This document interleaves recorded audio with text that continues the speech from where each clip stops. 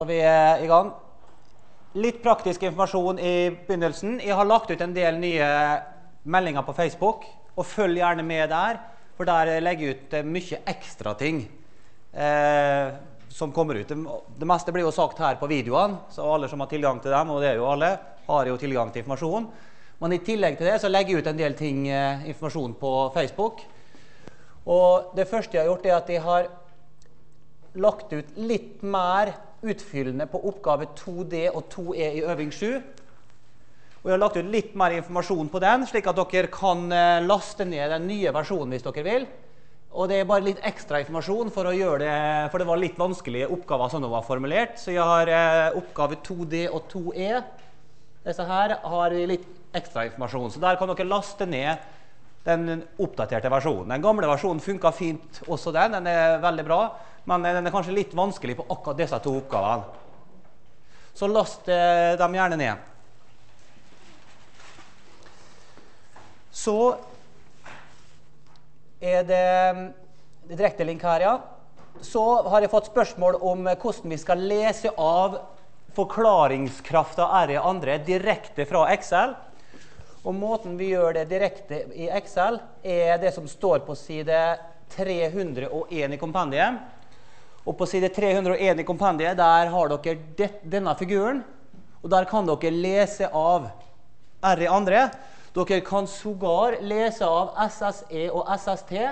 Og her nedes alfahatt og betahatt. Dette er et direkte og Jeg håper alle følger med det jeg sier nå. Dette er et direkte eh, tips til øving 7. For i øving 7 så skal vi nettopp svare på disse der. Og dette her er veldig typisk i vårt kurs regresjonsoppgave. Så moralen er gjør øving 7 skikkelig. Så etterpå i dag så skal vi ha øvingstimer. Så gjør, spør meg og spør Galina. Det får dere betalt for. Og det er også lov for dere som ikke er på Facebook, å bare sende med mail. På vanlig måte så kan dere lage løsningsvideoer på dem dere syns er vanskelig å forstå. På oppgaven på øving 7. Så kan dere lage løsningsvideoer og legge ut. Så som sagt, dem av dere som ikke er på Facebook, kan bare sende meg en mail, og så legger de på Himmeldex. Så var det litt også oppgave øving 7, oppgave 2C. Her bare hjalp jeg dere litt på vei på hvordan du skal lage, løse den oppgaven. For da har jeg fått en del spørsmål på og, og, og, hvordan du løser slike oppgaver. Og jeg skal kanskje lage noen løsningsvideoer senere i dag fra to til fire eh, på noen av de øving 7-oppgavene som dere syns er vanskelige. Men her får dere tips om hvordan du tar forventninger av y, der y er gitt ved en sum av andre stokastiske variabler. Og Her har jeg også en løsningsvideo på oppgave 1G, igjen øving 7. Legg merke til det er fryktelig mye øving 7-løsningsvideoer. Øving 7-tips, øving 7-tema vi har i kurset her nå. Og igjen vil jeg si ta det som et hint. Og her er det øving 7, eh, oppgave 1G. Og det dreier seg om jeg tror det om oppgave her også, omvendt tabelloppslag. Hvordan løser du omvendt tabelloppslag-oppgaver i forbindelse med normalfordeling? Det har jeg lyst til at dere skal forstå, slik at dere ikke bare gjør det mekanisk. Hvis dere gjør det bare mekanisk og det har liksom en kokebokoppskrift, så hvis de justerer litt på situasjonen, så blir det liksom feil. Så det er viktig forståelsen. Og er dere i tvil med forståelsen, Send meg en mail eller spør meg på Facebook, privat på Facebook eller på Facebook-gruppa. Eller dere kan få meg til å lage løsningsvideoer, eller bare kom og spør meg her etter eh, i øvingstimen. Det er mange muligheter. Ja, og så var det en liten ting her, Jan øving 7. da. Hvor kommer det her fra? Det er nesten så akkurat det du vil skrive på tavla, så skal du snart få tid. Det er det at P av x er mindre enn 2 pluss P av x er større enn lik 2 er lik. Hva er dette her lik?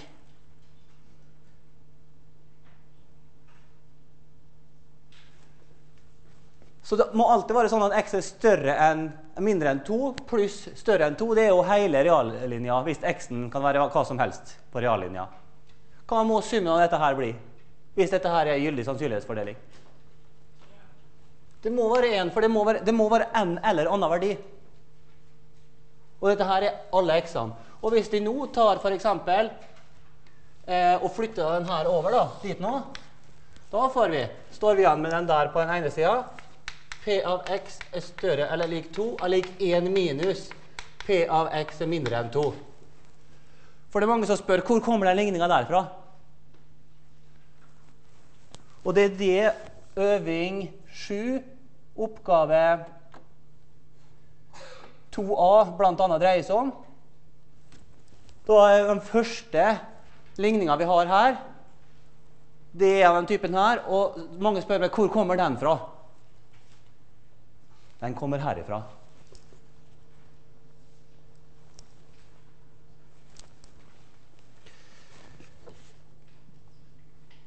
Så skal vi se her. Ja, og Her er litt diskusjoner rundt det her. Og her har jeg hjulpet dere. Her har jeg hjulpet dere litt med noen tips, slik at jeg klipper ut litt eh, liksom, av løsningsforslaget og, og limer inn, slik at dere blir hjulpet litt på vei. Ja, det var det. Så er det litt praktisk informasjon fra sida her. Ja, Statistikk er jo et tema vi har blitt veldig glad i og lært mye om. Statistikken viser det at, uh, viser det at uh, halvparten av befolkningen er uh, allergikere på en eller annen måte. Dyr, gress, ugress, hva som helst. Og det er noe sånt som én av syv i Norge som har bjørkeallergi. Nå er det høysesong. Masse sporer ute. Masse sykefravær, mange som ikke orker en dritt. Jeg sjøl har merka mye til det. Jeg orker ikke helt forelesningene. Eller kommer, men jeg får ikke noe særlig ut av det. Prøver å jobbe hjemme, får ikke noe særlig ut av det. Henger over deg som en sykdom. Det er det jo. Så jeg snakka litt med rektoren på skolen, og han eh, han fant en løsning nå. Det er eh, det bomberommet som dere sikkert kjente til, nede. Det er jo ment til å tåle hva som helst. Eh, Bokstavelig talt. Og det er nesten ikke noe allergi i det rommet. Jeg har testa selv, jeg var der en time i stad. Så for de som er plaga, så driver vi og rigger opp nå etter hvert eh, litt sånn kontorlandskap. For det er svært rom, kanskje 150 kvadrat. Plass til mange. Så for de dere som sliter, så kan det være en idé å gå ned dit. For det er oppe hele tida. Det er bare på kvelden av og til at det er kickbokstrening og sånne ting. Så det var det. Ja. Takk skal du ha. Så for dem som er allergikere, så er altså bomberommet en mulighet. Det var beskjeden. Da går vi over til dagens tema. Vi, det er eksamen fra i fjor, hovedeksamen fra i fjor. Og Hovedeksamen fra i fjor der gjorde vi oppgave 1 og 2 forrige gang, og vi skal begynne på oppgave 3. Så hvis vi slår opp der på oppgave 3, side 5 i eksamenen, så skal vi nå se på det her med normalfordeling og sentralgrensesetninga. Og Der står det, følgende Sparebanken Møre ønsker å finne ut hvor, mange, hvor ofte privatkunden i banken gjør overtrekk på sine lønnskontoer. Anta at du er ansatt i banken, og at du har fått ansvar å finne ut mer om, uh, om dette. Du bestemmer deg for å tilnærme problemet ved hjelp av statistikk. I den sammenheng så defineres den stokastiske variabelen Oppgave 3 som er antall overtrekk per måned. Og så står det også at det er for en tilfeldig valgt konto. Eh, nå tar jeg bare kortversjonen her på tavla. Men som, om ikke alltid, så tror jeg iallfall nesten alltid så er det sånn at eh, i forbindelse med stokastiske variabler så er det et tilfeldig utvalg. Så det at det er et tilfeldig valg, det ligger nesten implisitt i det faktum at x er en stokastisk variabel. Basert på historiske data så har vi sannsynlighetsfordelinga. Og allerede her så begynner vi å plassere oppgaver. Dette er ei tabelloppgave. Og det sier oss ganske mye. Det kunne ha vært at det er binomisk fordeling eller PSA-fordeling, og det skal vi se mye på i øving 7. Men det kan også være tabell. Og da angriper vi oppgaven litt annerledes enn om vi hadde hatt, visst at det var en annen eksplisitt eh, sannsynlighetsfordeling, som Poisson eller binomisk, eller hva det skulle være. Greit. Oppgave A. Hva er sannsynligheten for at en valgt konto Skal vi se. Der har vi Sparebanken Møre. Oppgave A. Hva er sannsynligheten for at en tilfeldig konto har minst ett overtrekk per måned? Minst ett overtrekk per måned.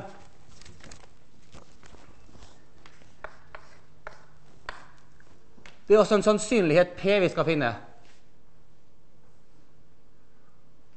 Og når X-en er det der, hva er det oppgaven spør om hvis vi skal oversette oppgaven fra norsk til statistikk eller matematikk? Hva er det som skal stå inni her? X er større enn 3 ble spurt om. Ble det foreslått? Er det riktig? Minst ett overtrekk per måned.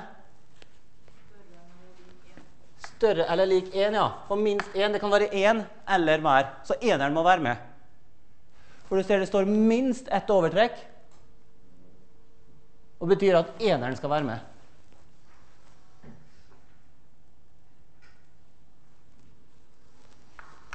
Hvis vi skal regne ut dette her, så kan vi gjøre det egentlig på to måter. Enten så kan vi regne ut P av x lik 1, x lik 2, x lik 3, x lik 4, x lik 5. Eller hva er andre metoden? Hva er eventuelt den andre metoden?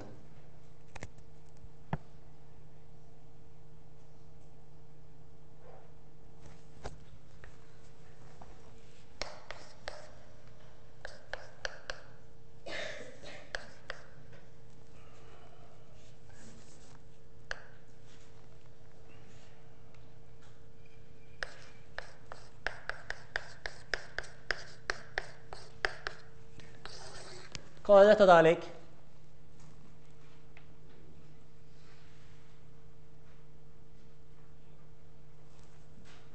X er mindre eller lik 1. Eh, X er ekte mindre enn 1 pluss X er større eller lik 1. Hva må det være lik? 1, ja. Hvorfor må det være lik 1?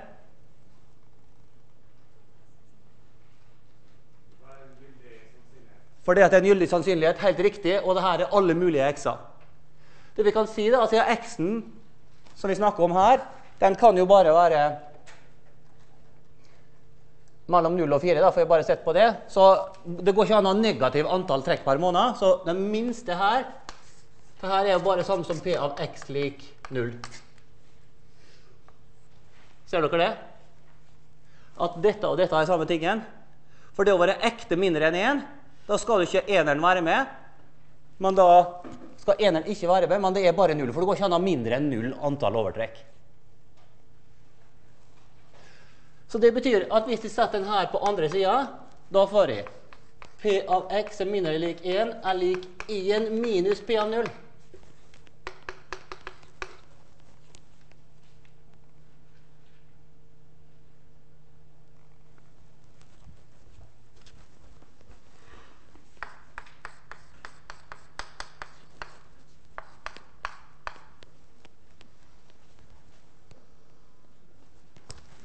Hva er null? Sannsynligheten for at det er null overtrekk, det er 57 0,57. Og så setter vi inn det og får 0,43.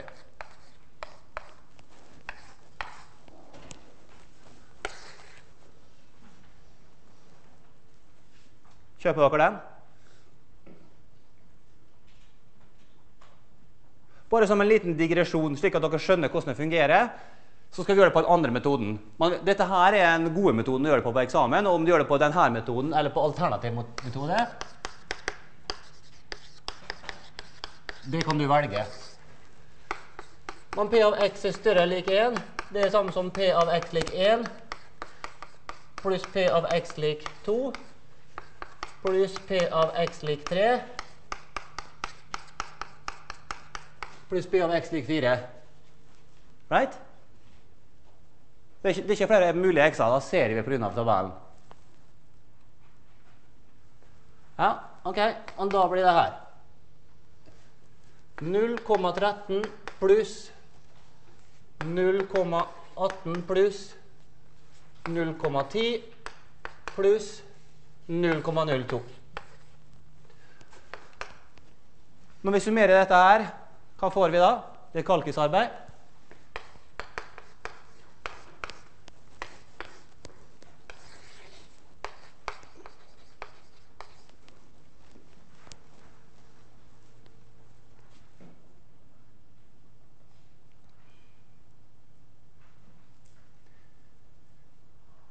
Enig i at dette er samme metoden?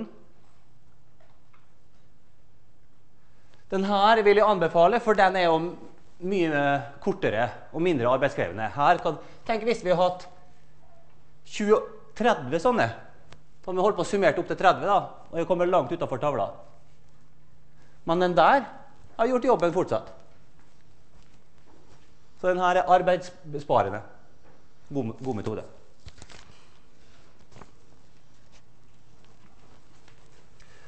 Ok, neste, opp, eh, neste, oppgave var følgende.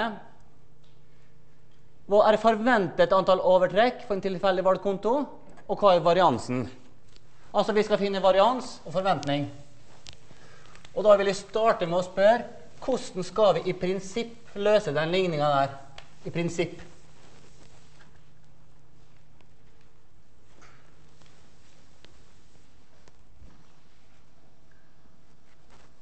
Så enkelt som at det er m ganger p.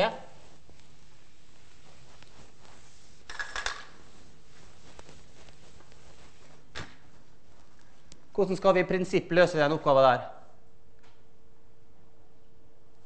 Oppgave B skal finne E av x.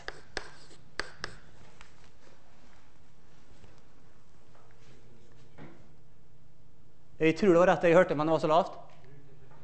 Vi bruker definisjonen, ja. Det er helt rett. Fordi at her har vi tabell. På den måten der, Og da er det ikke så mange andre måter å gjøre det på enn å gå via definisjonen. Og er det som husker definisjonen av forventninger i hodet?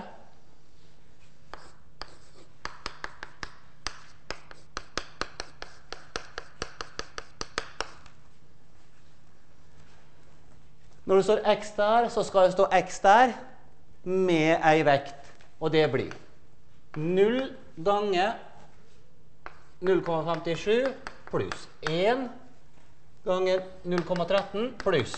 Og så setter vi inn her, og så får vi 0,87.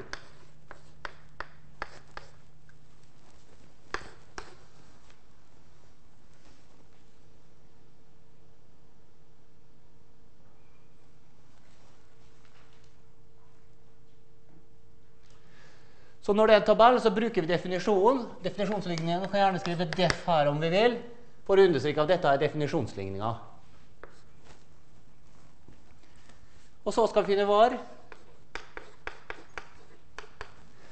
Der er det to måter å angripe denne oppgaven på. Hva tror dere, hvilke to måter tror dere de har i hodet? Iallfall nevn én. Hvordan skal vi angripe og finne var, gitt at vi har en tabell?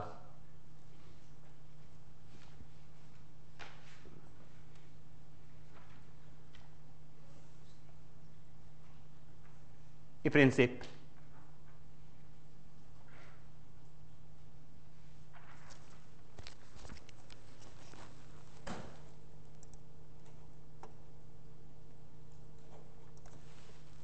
Hvordan skal vi angripe denne i prinsipp? Vi skal finne variansen. Hvordan løser vi den? Og vi har oppgitt en tabell. Hvordan løser vi det? Definisjon, ja. Det kan vi f.eks. gjøre. Og hva er definisjonen av varians, da? 1 over n x i minus e av x opphøyd i andre ganger Hva skal stå her?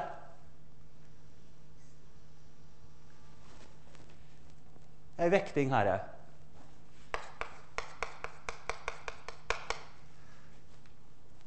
Hvor står den definisjonen der i formelsamlinga hen? For nå er vi på eksamen. Og vi husker ikke den der i hodet. Så vi må sammen finne her. Og gi meg et sidetall. I formelsamlinga et sidetall. 36 er det noen som sier. 36. Ja. Der har vi Der har vi eh, definisjonen av forventning på ligning 5-6. Der er variansen. Og det er denne. Jeg har bare skrevet det opp. Bra. Da har vi formelen. Og nå kan vi sette inn tall. Og da blir det her. Først så blir det null minus forventninger, og da ser du at vi er nødt til å bruke 0,87. Da ser du igjen altså en gjenganger, dette her. Når du først har et svar, så er det veldig stor sannsynlighet at du er nødt til å bruke det ved senere anledning. Da blir det her 0 minus 0,87 i andre ganger tyngden til null. Og tyngden til null er Eller vekta til null, om du vil. Det er fortsatt 0,57 pluss 1, for det kan være 0, 1, 2, 3 eller 4 maks, minus 0,87 i andre, ganger vekta til 1. Og sannsynligheten for at det er n overtrekk for bånet er 13% pluss Og så setter vi inn her, og så regner vi det. Det er ikke mange ledder. Og da får vi til slutt 1,3 1,31. 1,3 drøyt.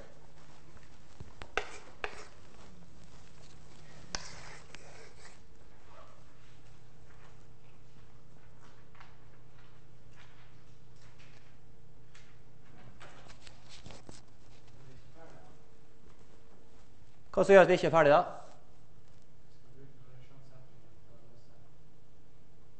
Til å løse Eh, jo, vi er ferdig. For her har jeg gjort det på en annen måte. Sto det eksplisitt at vi skulle bruke variantsetninger? Det, det, står bare at vi skal finne variansen. Og her har vi ikke brukt variansetninga, vi har brukt definisjonen her. Og det, det, gjør jobben så lenge vi har tabellen. Men metode to er akkurat sånn som du sier. Vi kan bruke variantsetninga. Vi er ferdig med oppgaven nå og kan gå på oppgave C. Men om dere vil, så kan vi bruke en alternativ metode. Og, og da bruker vi variantsetninga. Hva er variantsetninga? Gi meg et sidetall og et ligningsnummer i formelsamlinga. Var det hva du sa Side Der, er variantsetninga.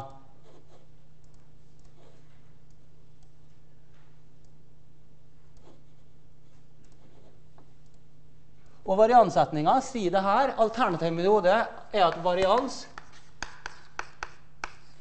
er lik e av x i andre minus e av x i andre. Dette er variansetninga.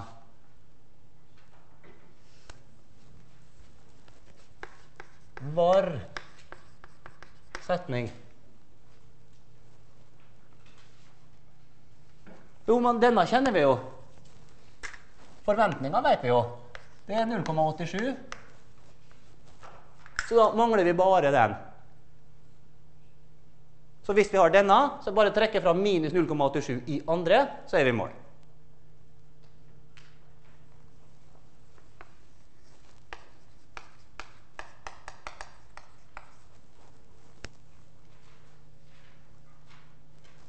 Ja, hvordan finner vi det her, da?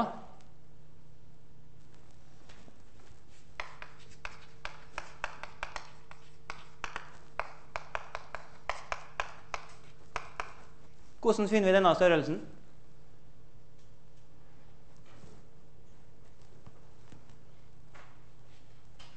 Dette er en forventning, men det er ikke forventning av x, for den fant vi jo her.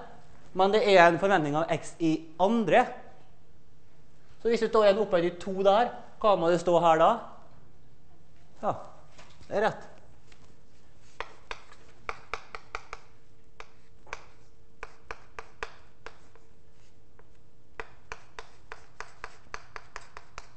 Skal den her opphøyes i andre, eller? Vekta? Nei. Vektinga påvirkes ikke. Den Vektinga er vektinga uansett. Men det som, siden det, står, siden det er x-en som skal kvadreres, så er det da x-en inni her som også skal kvadreres. Denne er uberørt. Vektinga er lik. Og da kan vi sette inn Så blir det 0 i andre ganger 0,57 pluss 1 i andre ganger 0,13 pluss Og så setter jeg inn her og regna. Og får 2,07 for den der. Så denne størrelsen der, som vi regna ut nå, den er 2,07. Altså denne er 2,07. 2,07 minus 0,87 i andre. Og det er kalkisk arbeid. Og det er 1,3131. To strek foran. To strek bak.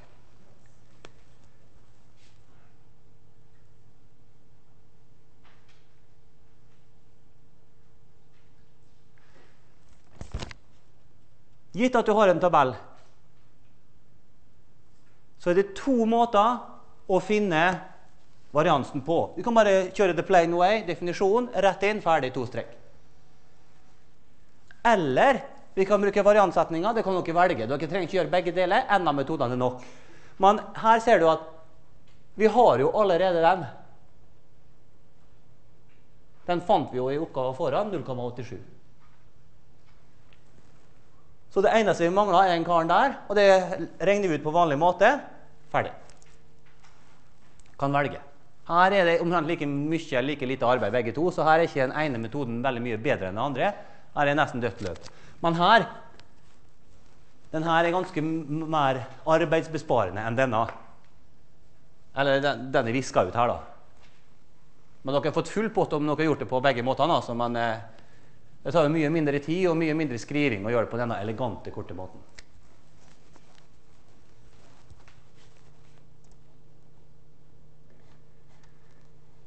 Eh, skal vi se Der. Ja, så kommer det her. Det er totalt 500 kunder i Sparebanken Møre som har oppretta konto i banken. La XI være overtrekk av eh, per måned for lønnskonto for eh, kundenummer I, der I går fra 1 til N. Der er det totalt N fikk 500. Da Da definerer vi gjennomsnittet av antall overtrekk per måned som det her.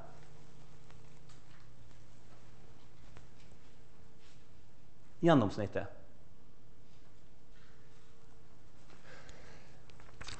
Og gjennomsnittet er da bare 1 over antallet, og så summerer vi alle antallet.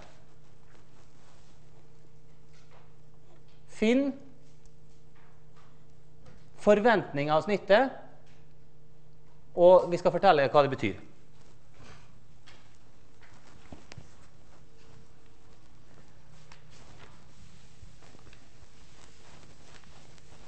Forventning av snittet. Er det noen som eh, ja, La oss ta tolkninga først. Hva er den generelle metoden når vi får et sånt tolkningsspørsmål? Så har jeg sagt det at hele tolkningsspørsmålsoppgaven den står faktisk i oppgaveteksten. Det er bare å lese rett ut av. Så får dere en sånn tolkningsoppgave, så skal dere juble, for da står det i oppgaven. Så det er bare et spørsmål om å finne det. Oppgave C. Hva det betyr? E av x. E av x bar er lik. Hva er det første ordet dere som skal komme her? Hva er det første ordet dere har lyst til å starte med i forbindelse med tolkning? Forventninger. Forventa. X bar. Hvis jeg ser da på X bar, og så ser vi i teksten Vi definerer gjennomsnittet X bar. Og hva er X bar, da? Det er gjennomsnittet av X. Forvent, forventning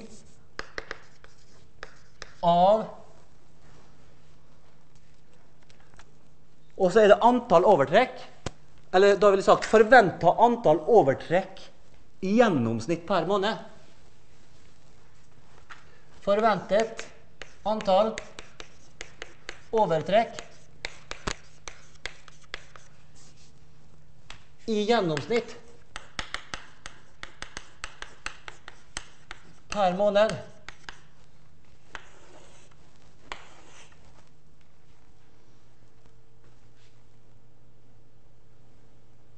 For det er jo det Hvis vi ser hva X-en er X-en var jo så fint definert i begynnelsen her.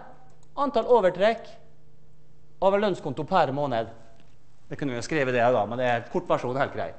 Forventet antall overtrekk på en lønnskonto da, i gjennomsnitt, for dette er jo den streken der, bar per måned. Ferdig. Det får faktisk bare å lese av.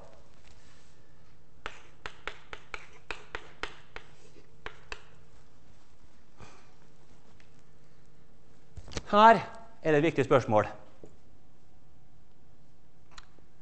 Og I fjor var det mange som lurte på hvorfor i verden de ikke fikk full pott på den eh, på den svaret der. For at de hadde jo rett svar. Hvorfor fikk de ikke da full pott? Og Grunnen til det er da at du er nødt til å vise litt mellomregning her. Og la meg vise Om du bare skriver opp svaret For svaret på det her er dette.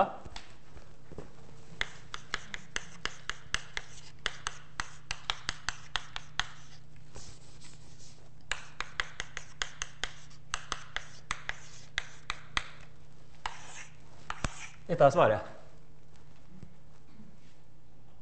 Hvis du skriver opp svaret, så får du kanskje 5% rett. Kanskje 10% hvis du er snill.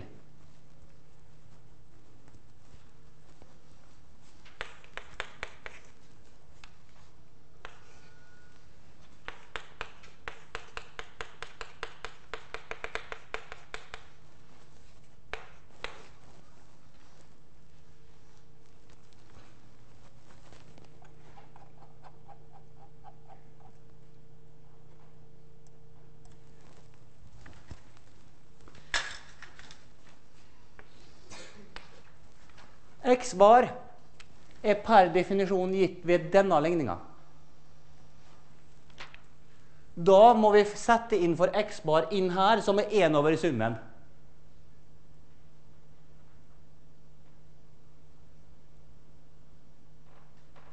Så det eneste vi har gjort, er å benytte oss av det som er oppgitt i oppgaven, at X bar gjennomsnittet er bare 1 over, og så summen av alle sammen. Så er det et mellomsteg som skal skje nå. Hvilket? Hva som skjer nå i neste omgang med f.eks. den faktoren der. Da har jeg lyst til at dere skal ha en begrunnelse for meg. Og jeg vil også at dere skal referere til Nå gjør vi det bare muntlig, så du trenger ikke gjøre det her på eksamen og skrive det. nok med mellomregninger. Så vil jeg at dere skal forklare det til meg og henvise til en formel i formelsamlinga med sidetall. Hva skjer med en M der? Det er bare en konstant, for N var 500, var det ikke det? 1, virker den bare på X-ene, ja? Hvordan sidetall skal vi slå på? Hvordan formel er det jeg tenker på nå?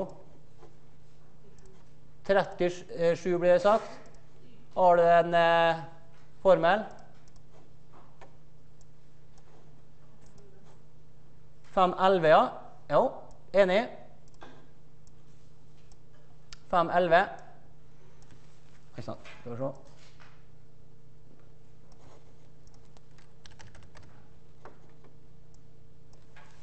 Ja. Så det som da betyr, er at den karen her det er bare en faktor konstant. Det er vår A, og den går utafor.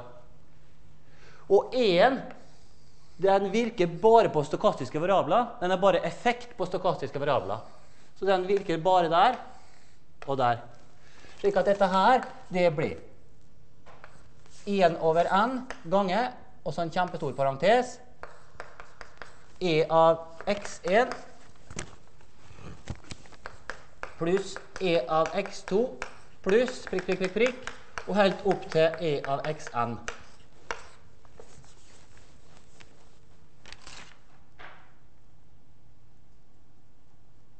Og det vi har brukt her, er 512. For hvis vi ser på 512, så betyr ikke konstantene så mye. De har ikke noen effekt, kan du si. De bare er der. Mens 1 den virker på x-en, og 1 virker på y-en. Slik at det er e av x og e av y. Det er bare de store bokstavene, altså de stokastiske variablene, som e har noe effekt på.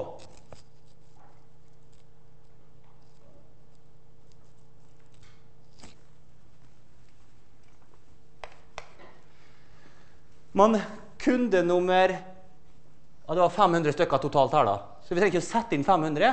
Selv om n lik 500. Legg merke til det, jeg setter ikke inn 500. Jeg venter med det til det bitter end.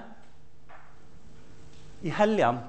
Og da ser vi at kunde nummer 280 eh,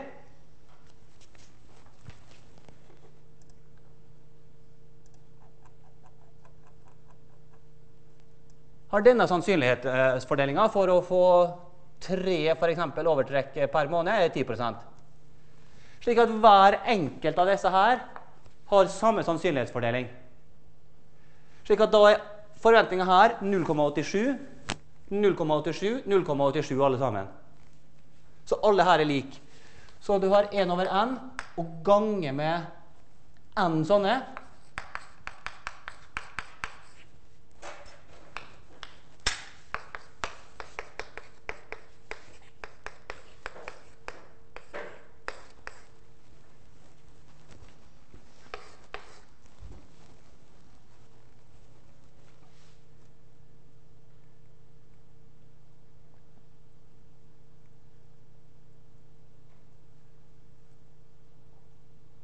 Da ser vi hva som foregår. Vi har i forkant 1 over n, men samtidig har vi Nils antall x-er. Og det faktum at vi har 1 over n her og Nils antall x-er, det slår hverandre i hjel. Og vi står igjen med at forventninga til snittet er det samme som vanlige forventninga til én en enkelt. 0,87. Ja?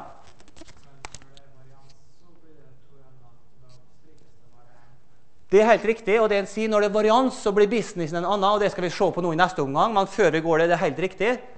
Varians, man er forsiktig, for der er det en annen ting. Men det skal vi komme tilbake til ganske snart. Men la oss fullføre det her. Så dem av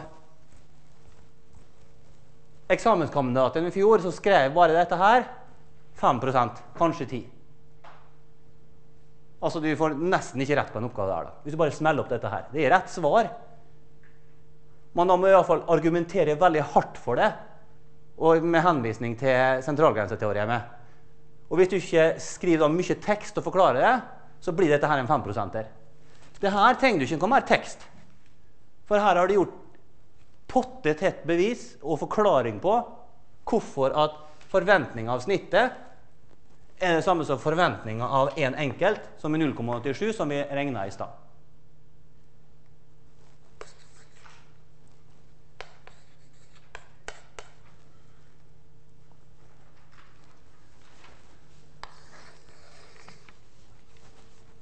La oss nå gjøre variansen sånn som du sa, som du foreslo. Oss nå se på variansen av snittet.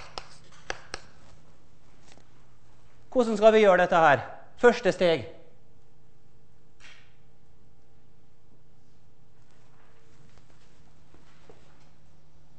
Samme steget her som i stad. Vi tar E av noe, og tar E av det dyret der.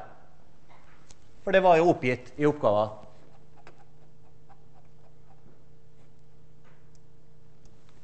Ja, Så det å ta vare av det her er samme som å ta var av en sånn kar som dette her. X1 pluss X2 pluss og helt opp til 500.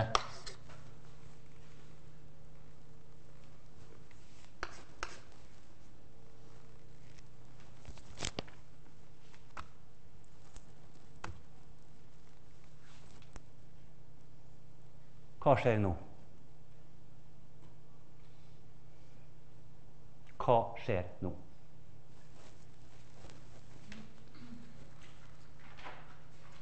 Forklar med ord, eller gi meg et sidetall og et ligningsnummer i formelsamlinga. Hva skjer nå? Jeg har fått et forslag som var Side En gang til. Ja, og ligning? 515, ja. 515. Er det riktig ligning? Delvis. Det er nesten rett. Det er nesten rett. Så i den forstand at da kan jeg i hvert fall sette den ut. Skal jeg ta ei lita mellomregning da, som er litt unødvendig. Det mellomregningen vi skal gjøre nå, er litt unødvendig, men vi skal gjøre det bare for å skjønne det. Så tar det samme som 1 over Hva, hva den her sier da, hvis den her skal ut? Da blir det 1 over n i andre, ja. Gange var av. x1 pluss x2 pluss x3 pluss x pluss x Nils. Sånn som dette. Ja. So far, so good. Det er riktig. Ok, nå da, Er det bare å ta vare på hver enkelt av dem, eller? Sånn som her? Akkurat sånn? Ja, sier noen.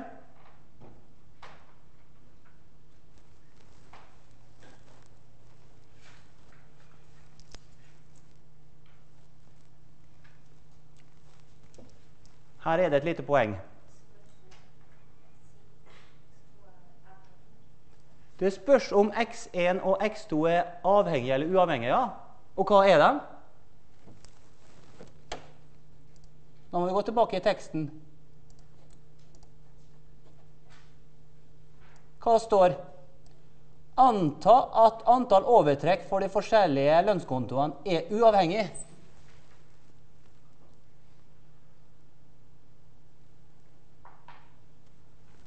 So what? Hvilken sidetall skal vi slå på i formelsamlinga da? Det vi så her på side 37, den her er delvis rett, men ikke helt. Jeg vil gå på side 44.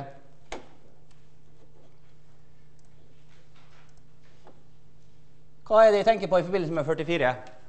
Alle slår på side 44 i kompendiet. Nei, i formelsamlinga.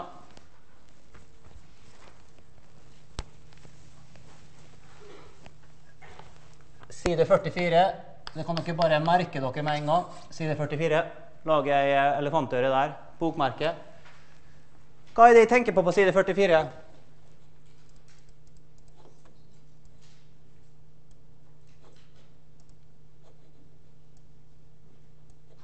Der er ei setning på side 44. Hva den sier Hvis du skal ha varians av en sum, x1 pluss x2 eller x og y, så er det samme som variansen av den ene pluss variansen av den andre pluss kovariansen mellom dem. Disse her. Og hva er kovariansen for eh, mellom x1 og x2, da? Den er null, ja, fordi at fordi at de er uavhengige.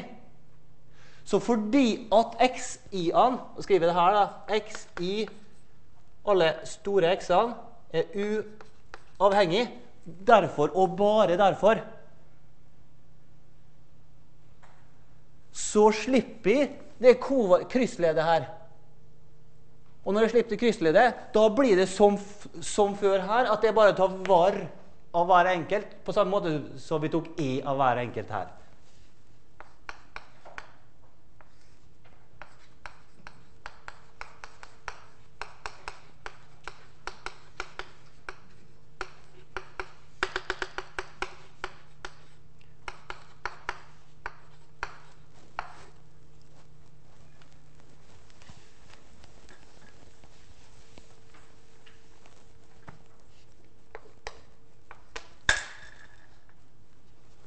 Hvor mange sånne varer har vi? N totalt, ja. Så da blir det 1 over n i andre ganger n ganger var av en enkelt av dem. Hvor mange Nilser er det som overlever her? Én i kjelleren. Og da blir det 1 over n var av x. Og nå Først kommer tall. Det er det siste vi gjør. 1 over 500 ganger hva var variansen da? Var det ikke 1,3131, var det ikke det? Og så setter vi inn det her og får 0,002626.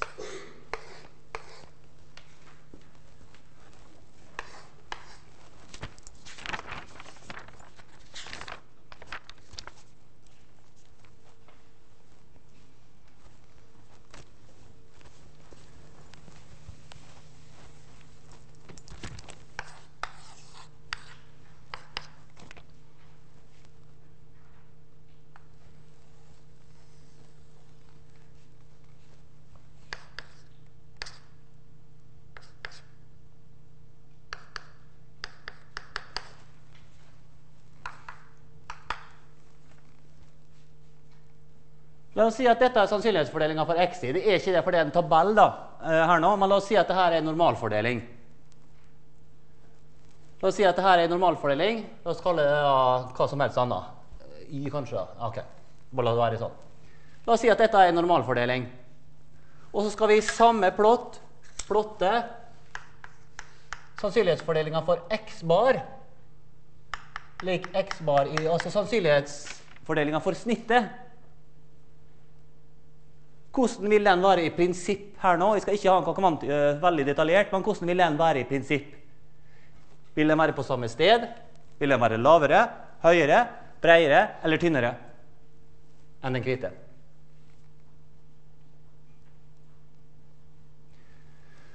Tyngdepunktet til den der, selv om den ikke er normalfordelt her, for her er det jo en tabell, men la oss glemme det for et øyeblikk, er jo at uh, Ja, jeg viska det ut. Jeg tror det var her. 0,87.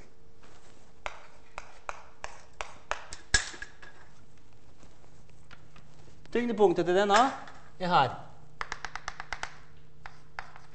0,87, for det er av x.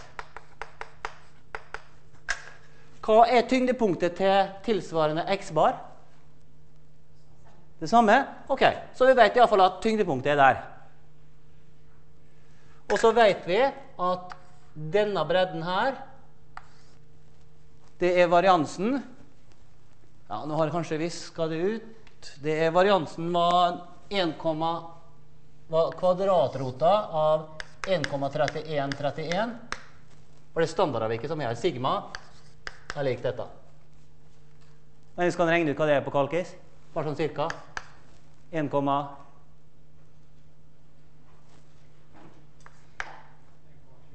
1,14. Ja, 1,14.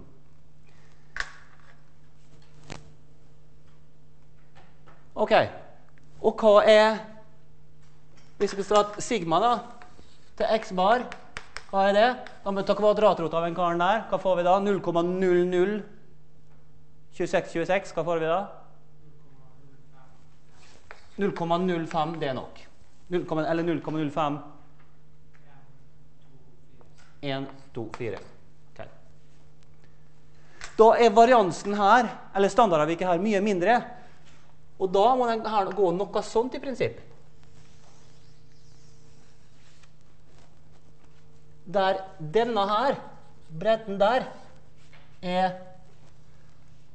sigma av x bar er lik 0,051 osv. Det er den bredden her.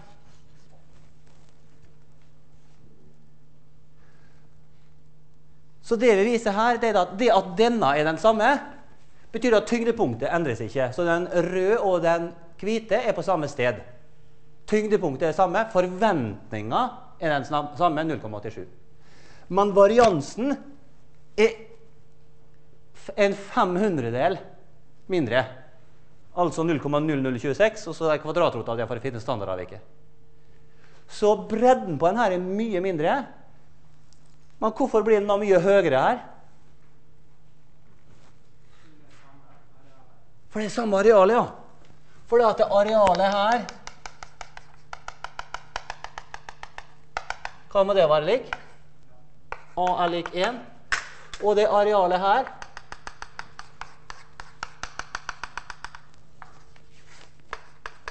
Det må være lik 1. Så når vi får sånne X-bar-oppgaver, så vet vi svaret egentlig med en gang. Vi vet at dette er det samme. Og vi vet at denne er bare en 500 eller 1 over n-del, altså mye mindre.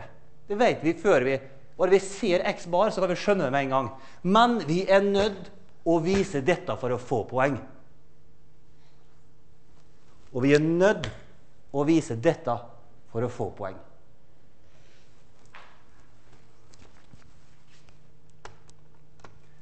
Da tar vi pause.